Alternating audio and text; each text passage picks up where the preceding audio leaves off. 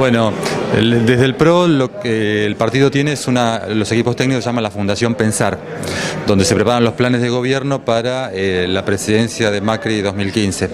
Eh, dentro de los equipos de gobierno de lo que es agroindustria está el concejal Pablo Torello y bueno, junto con un equipo de expertos del área eh, se preparó un plan integral de los lineamientos que llevaría adelante Mauricio Macri de, ser presidente en 2015, donde se habla de agroindustria, o sea, ya eh, para que la Argentina desarrolle todo el potencial del campo hay que pensar en agroindustria, no solo el agro puro, sino también la, eh, la conexión con la industria basada en lo, en, lo que, en lo que brinda el agro.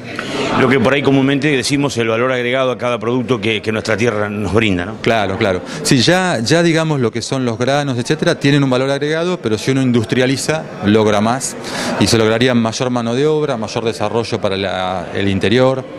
Eh, eh, bueno, ¿qué opinión le merece a usted este trabajo que se nos ha hecho saber que llevó eh, tres años, le llevó a la Fundación y a los técnicos y demás? Porque cuando uno y los ciudadanos comunes escuchamos este tipo de cuestiones decimos, pero es viable luego esto en la práctica, ¿no?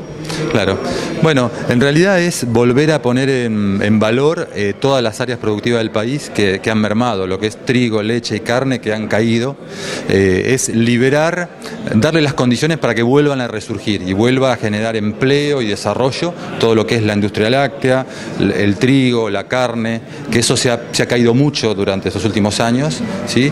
y no que quede solamente arrinconado más hacia las hojas, sino que sea eh, toda la potencia que Argentina tiene eh, en, su, en su campo y su agroindustria, volver a liberarla eh, y lograr condiciones para que la producción pueda desarrollarse y no eh, atosigarla tanto con restricciones y complicaciones y alta carga impositiva. Permitir que vuelva a desarrollar y a generar empleo.